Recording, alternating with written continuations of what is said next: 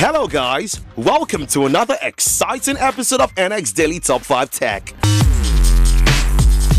At number 5, Google is using software to make the Pixel 3 screen corners even rounder. Google is extending its design aesthetics that favors subtle, rounded corners even further by manually adjusting the Pixel 3 screen's corners during startup as first spotted by an eagle-eyed Reddit user earlier today.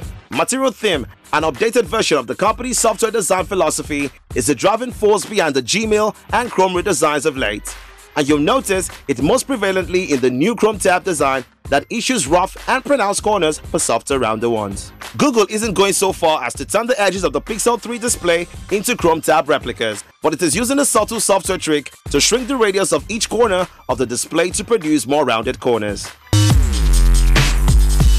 At number 4, the OnePlus 6T launch is being rescheduled because of Apple. OnePlus is moving up the launch of its OnePlus 6T by a day in order to avoid colliding with Apple's iPad Pro and Mac event on the 30th of October, which was just announced this week. The sold out launch event, which has over 1,000 confirmed attendees so far, is a ticketed event for OnePlus fans as well as press. In past events, OnePlus has credited the cost of tickets back when attendees purchased the phone. OnePlus is now reaching out to attendees to let them know about the rescheduling and is offering to cover travel expenses for attendees if they need to change their flights. The company is also offering full refunds to ticket holders who won't be able to attend.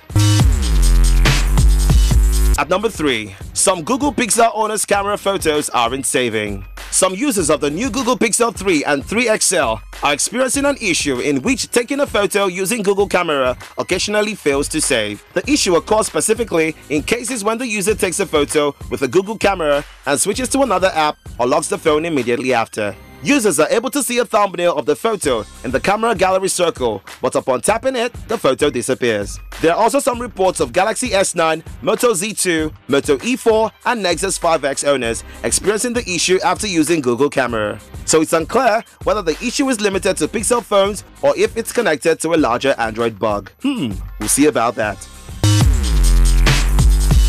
At number 2, how to view your notification history on Android. If you've used Android for quite some time, it's likely you've mistakenly swiped away a notification or two for one reason or the other. Or you accidentally cleared everything in the notification drawer without meaning to, or maybe you just wonder where all your notifications go and if there's a historical list of them after you've dismissed them.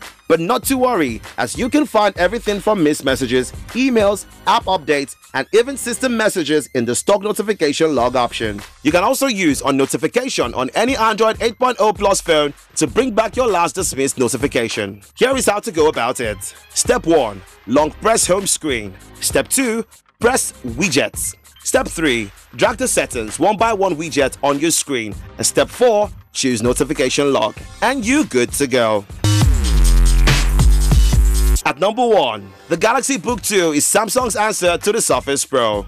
A couple of weeks after Microsoft announced the Surface Pro 6, Samsung is today unveiling the $1,000 Galaxy Book 2, an always connected Windows 2-in-1 that features Qualcomm's Snapdragon 850 processor and a revamped design that's extremely close to the Surface. It goes on sale from November 2nd. Samsung says the Galaxy Book 2 is capable of gigabyte class LTE and delivers multi-workday battery on a single charge. Specifically, the battery estimate is up to 20 hours. The big 2 speakers include Dolby Atmos support and just like Samsung's flagship phones, are tuned by the company's AKG division. An all-new rear kickstand has a Surface Pro-like hinge that allows you to adjust the angle of the 12-inch display to a near-flat level and it's included in the box keyboard magnetically attaches to the bottom display bezel in the exact same way as the Surface keyboard. And that's it guys on NX Daily Top 5 Tech. For this and more, follow us on all social media platforms at Nigezie Xtreme and you can visit our website at www.nigezie.tv.